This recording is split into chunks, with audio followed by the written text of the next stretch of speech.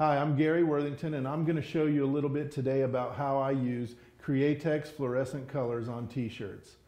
The first thing I'm going to do is I'm going to take this positive stencil of a butterfly. I've sprayed it with a little bit of spray adhesive and I'm going to adhere it to the shirt. I have my shirt stretched over a, a hardboard panel that I've shaped into the shape of a t-shirt. You can make these or you can buy them.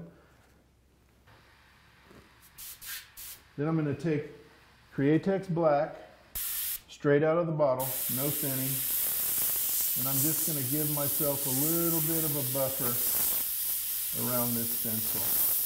What I'm trying to create here is a super dark edge that backs right up to the very bright nature of the fluorescent paint. And that makes it pop out. No need to worry about staying too tight here. You're just giving yourself a little border.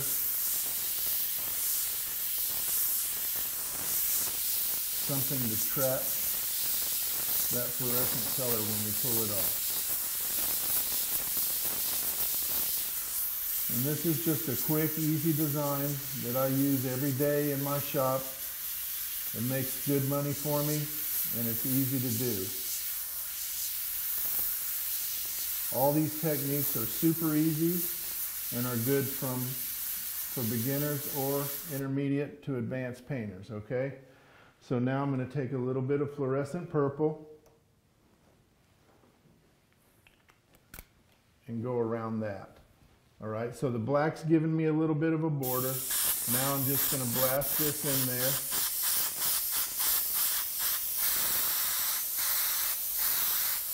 Notice how I'm not being careful about anything and I'm really saturating that color. One thing that's really important when you're painting t-shirts like this is that color saturation. You really want to push that paint into the fabric like this. Okay? And now I'm just going to kind of go around, keep my needle clean. And I'm just going to go around and give it a little bit of action on the outside like that. A little bit of a border.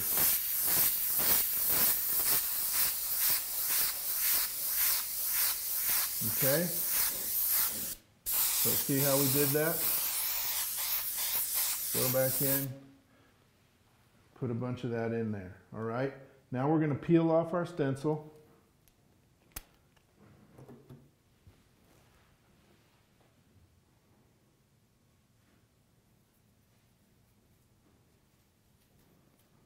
And if you notice, see how we have a nice clean edge that's really dark on the outside and it's really bright on the inside.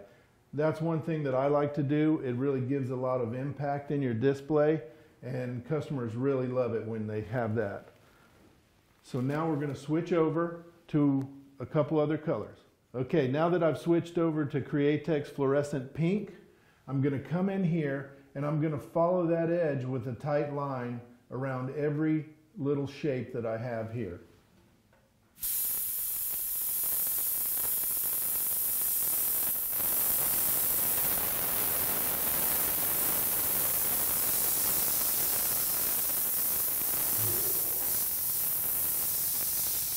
I'm really burying that pink in there.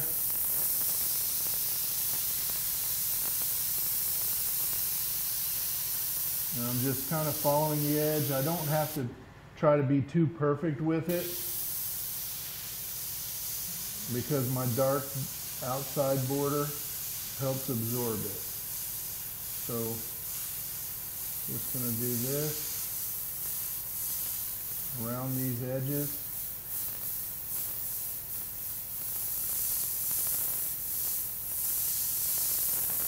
Now could you get away with just coloring this in a solid flat color? Sure and it would look great.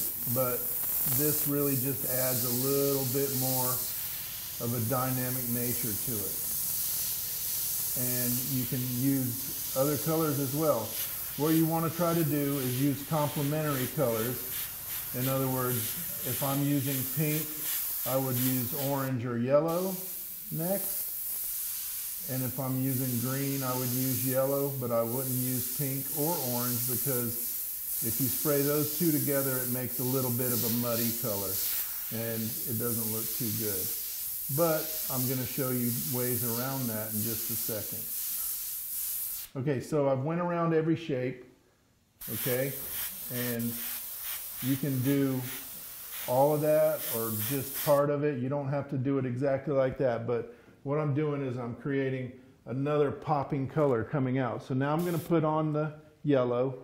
It's Createx fluorescent yellow, and I'm literally just going to bury this color in there.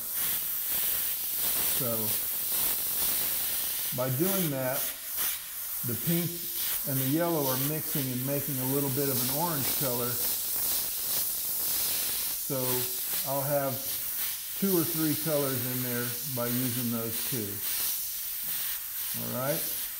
And again, there's nothing super advanced about this. It's just regular, everyday shop type work that I do all year long. Okay? So now you see we kind of have that mixture of two colors. It's really bright. We got the dark outside and we're punching that in. Okay? So I'm going to switch over to green now. Well, first what I'll do is I'll, I'll paint a name on here, okay?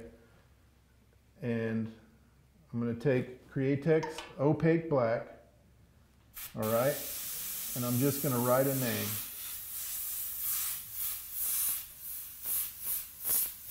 Just a simple one stroke name, just like that.